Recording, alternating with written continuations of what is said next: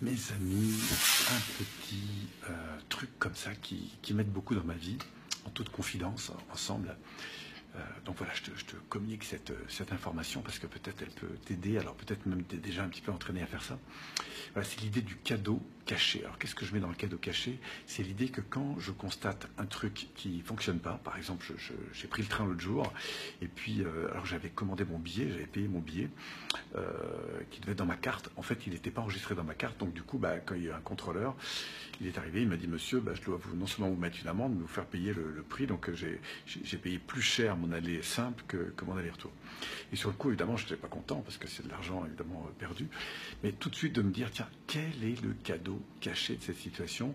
Et surtout, et c'est là que je vais élargir un petit peu le spectre, surtout si vous êtes un petit peu entraîné, parce que je suis sûr que vous connaissez déjà un petit peu le truc, mais c'est de vous dire aussi quel avantage caché cette situation euh, révèle en fait. Ben, par exemple que, que, je peux prendre le TGV, que je vais, que, si j'étais pas là pour me rendre dans telle dans cette situation, ben, ce serait peut-être pas si, génial. En fait, c'est de se dire qu'est-ce qui, dans les avantages que je vis, a permis en fait de me confronter à cette situation qui, effectivement, n'est pas forcément très drôle, et de me dire ensuite qu'est-ce que cette situation pas drôle peut aussi me permettre d'apprendre? Vous voyez, mais il y a deux niveaux en fait d'avantages cachés.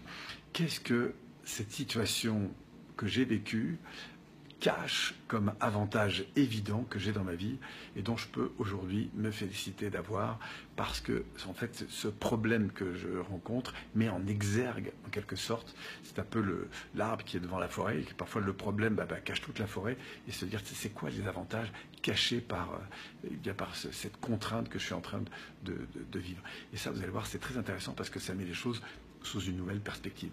Expérimentez, vous allez voir, c'est génial. Entraînez-vous, hein, si vous êtes déjà un petit peu entraîné, eh bien, poussez plus loin le curseur, vous allez voir, ça n'a pas de limite ce truc. À très bientôt, je vous en prépare d'autres pour justement vous faire part comme ça régulièrement de petites clés qui ont changé ma vie.